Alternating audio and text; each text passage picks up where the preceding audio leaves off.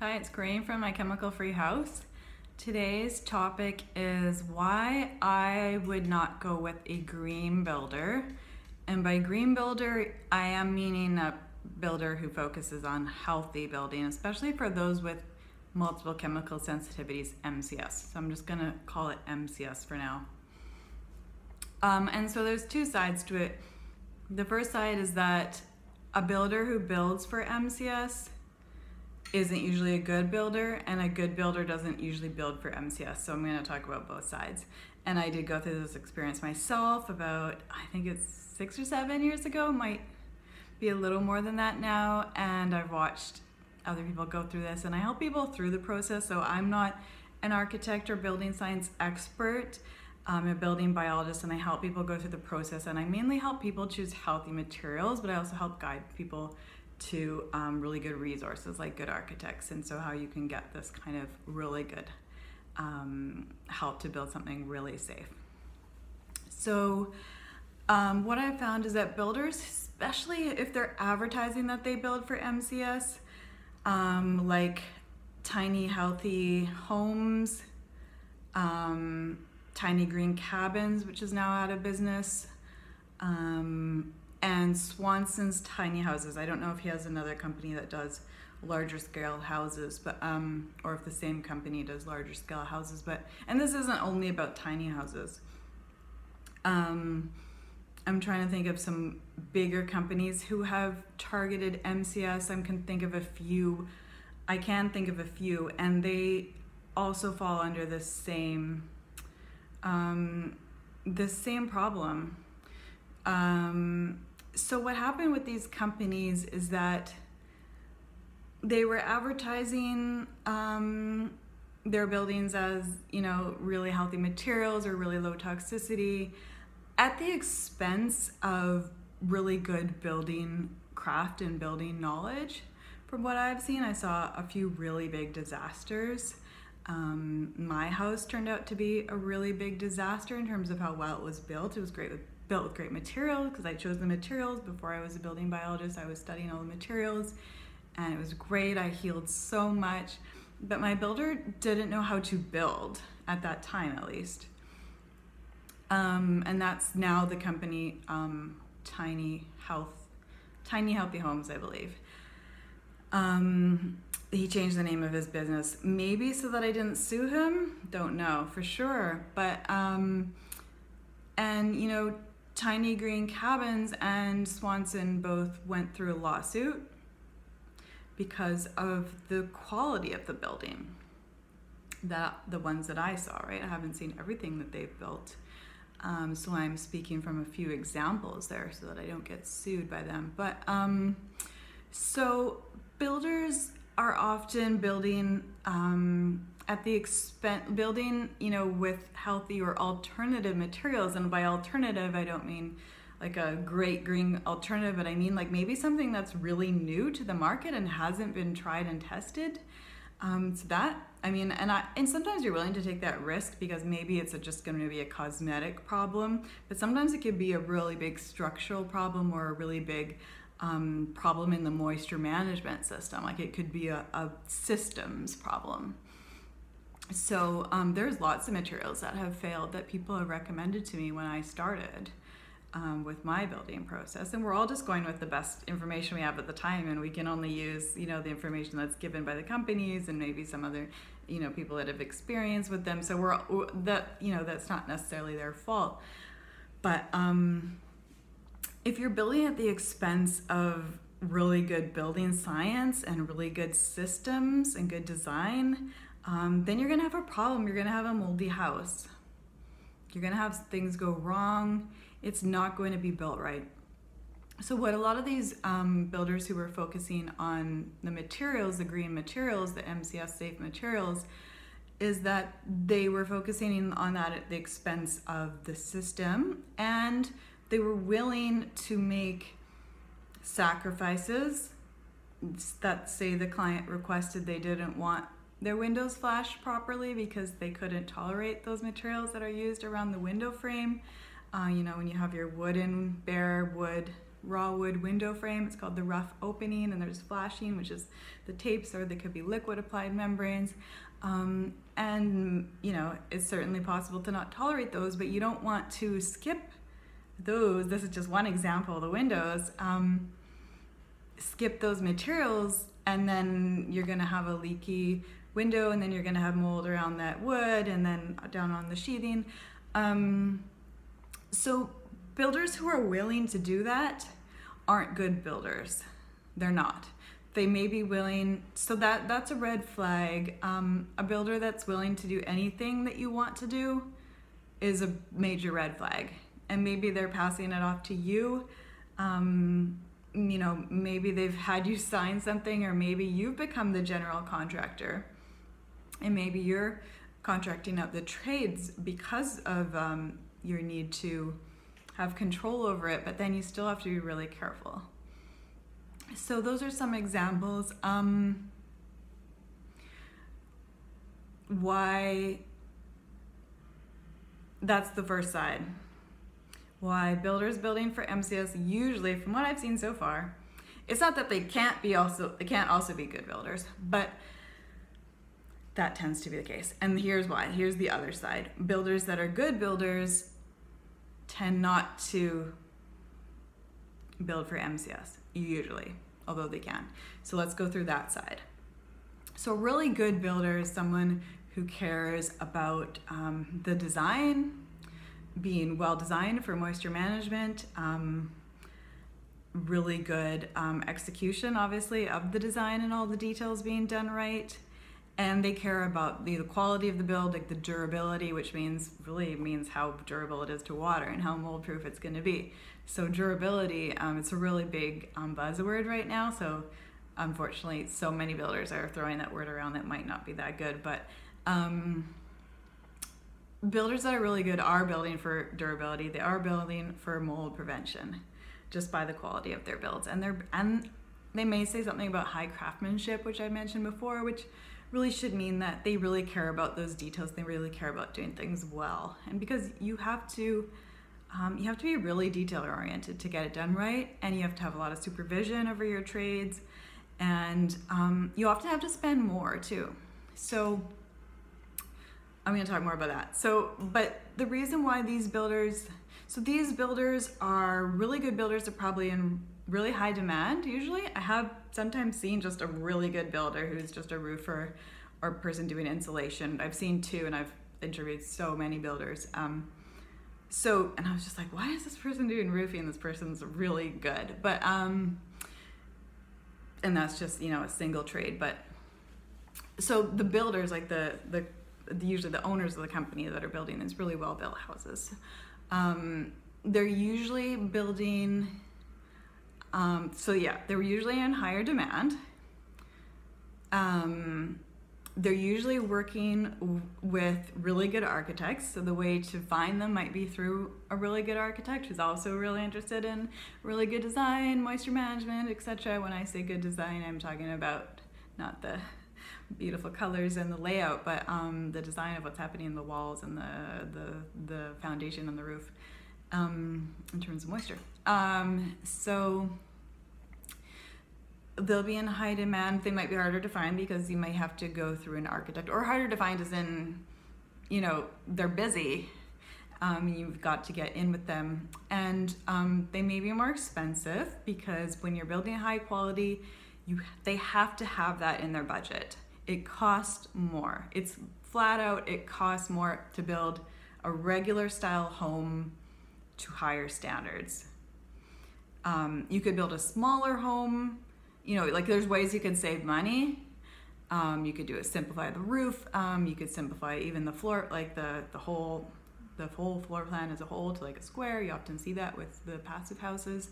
There's a reason why they're just a square and there's just a really simple roof. Um, so there's ways to simplify the cost, but it does um, cost more to build well. And so they tend to often build more upscale houses and it costs more to build with an architect on board to have the architect on board for the whole time and to have them really um, you know thoroughly involved with the design and um, the over some of the oversight too All right, so um, tying that back into why they might not build for MCS, chemical sensitivities.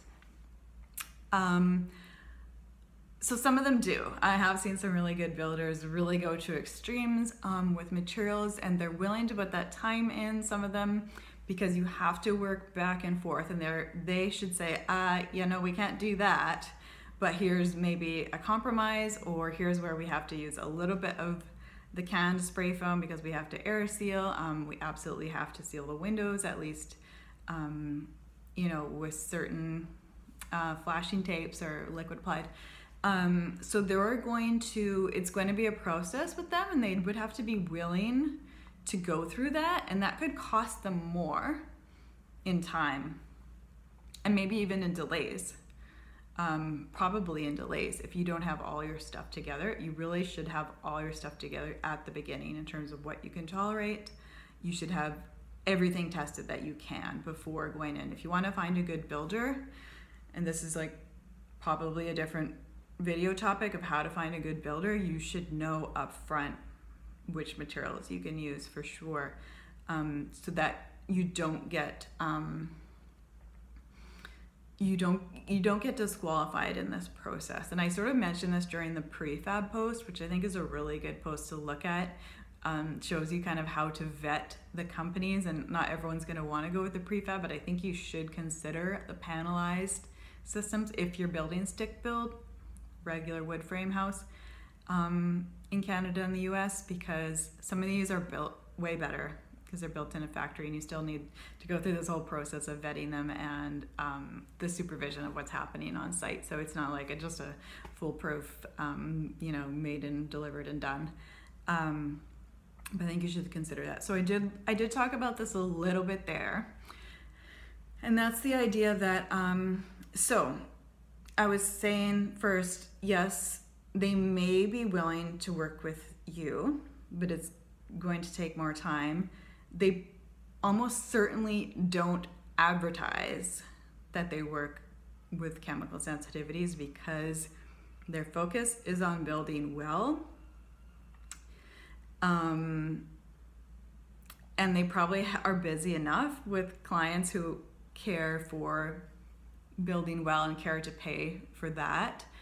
Um, they certainly know something about healthier materials. Almost all builders do now. Um, you know, all good builders will know something about low and zero VOC materials. But in terms of going to this extreme, extreme extent is what I'm kind of referring to. But um, the final point, and coming back to getting possibly getting disqualified, um, is that they may actually not want to work with someone with severe chemical sensitivities um, because they know, um, because it could take longer, because it could delay them, but also because they know that it could compromise the system of building well. And especially if it's a smaller company actually it's harder to it's hard to say. I mean a small company may be kind of willing to do that for you and on the other side a small company may not be able to take that hit of the time that's going to take and sorry.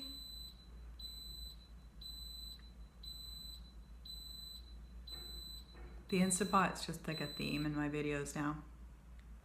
And I don't know how to edit them so sorry for those who have sound sensitivities. Um, so what was I saying? Um, so you know whether it's a small builder whether it's a large company it's sort of hard to say but um, whether they're going to disqualify you on that but um, they're not going to want to they're not going to compromise on their building system if it's a builder who builds well.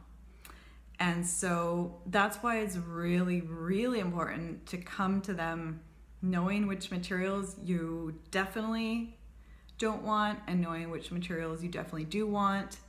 Um, and especially if there's anything really fundamental that you want to take out, um, come with a really good plan. And that's why I say in the prefab article and in general, bring me onto the project before the builder. It's usually people bring me on later. Sometimes when things are already going wrong with the builder, um, but usually just too late in the process. Like you shouldn't be choosing materials so late in the process that you may have to special order. Again, you're going to delay things. Um, so let's go through your material list really early on. And that's going to be a process that you have to do too, because I can't know for everybody what materials you're going to tolerate.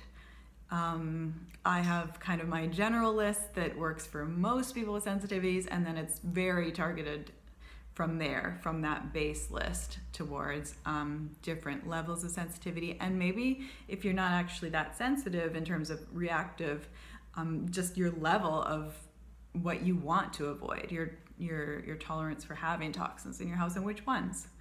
Um, so having that all laid out before is really important. You can then bring that um, to the architect, and then the architect can maybe help you find the builder if it's a local architect. Um, you could also consult with someone like Cheryl Ciecko, who you know I mentioned in almost every video because I really like her, even though I don't get any kind of kickback or anything, um, because she could look over your design first, and she's you know probably not local to you, um, and you could, and you won't have the exact design until you have your site. Um, but you could you could do some work there on your materials, especially if you're thinking of doing something really unusual and is that going to work? Hopefully, you know where you're going to be buying land. Um, ideally, you have your site first. Um, so, um, an architect really needs your site to make the make the proper plans for it. Um, but all these things, a lot of things here have to be done in the beginning, and so those. Um, so you know, let's say you do make that plan, you could bring that to a really good builder, and if we don't, and if we know, I know what some of those materials are that are going to compromise the system. Um, and so we won't do that and we won't bring that proposal to a really good builder.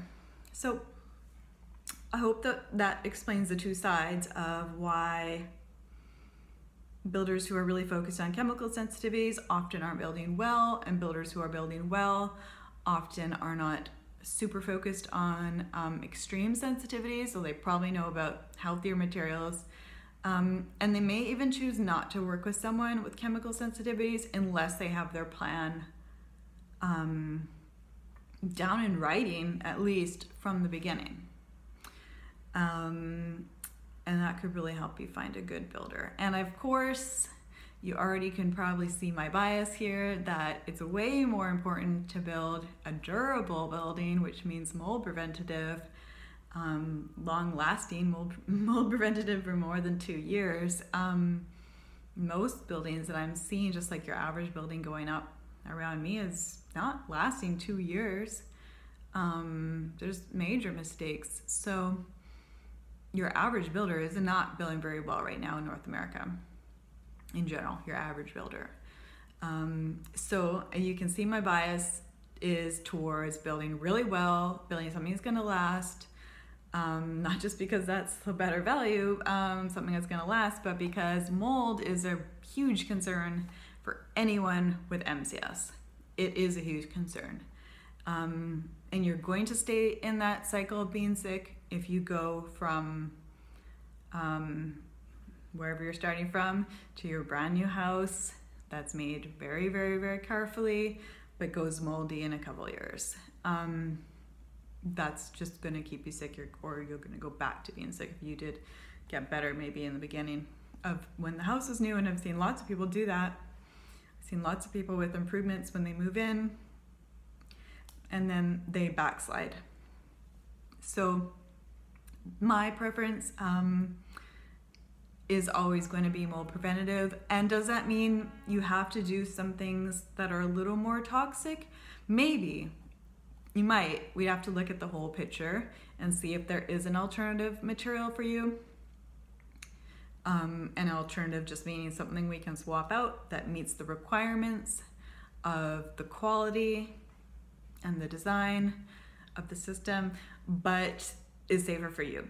So there might be, and there might be some places where you have to compromise, and you may have to let that off gas for a while, depending on you. We don't know how long. Um, exactly usually but if you've gone through all your testing on materials and you've taken the time to do that you might have some idea there Um, so I think it's a much better idea to have a house that um, you have to wait. Maybe you can't even move in right away, and it's super discouraging, and you don't even know when you can move in, and you desperately need a place to live because that's why you're building a safe house.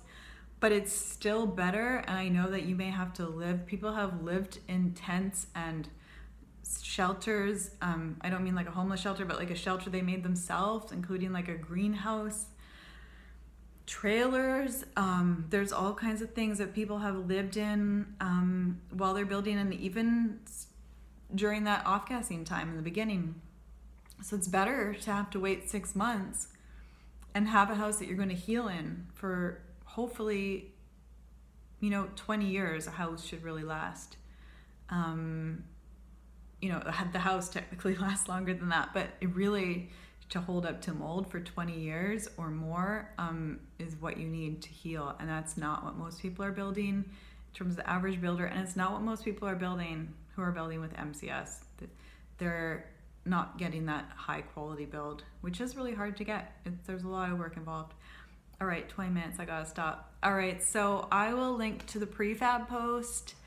Um, what else? Um, I think that's it for now. I think I'll just link to the prefab post that covers a little bit about what to look for. Even if you're not going for a prefab, um, I do have a post on building um, for chemical sensitivities. I'll link to that one too. That one's quite relevant. Um, in the kind of the steps you need to take when you're building for chemical sensitivities is the main focus of that post. All right, bye for now.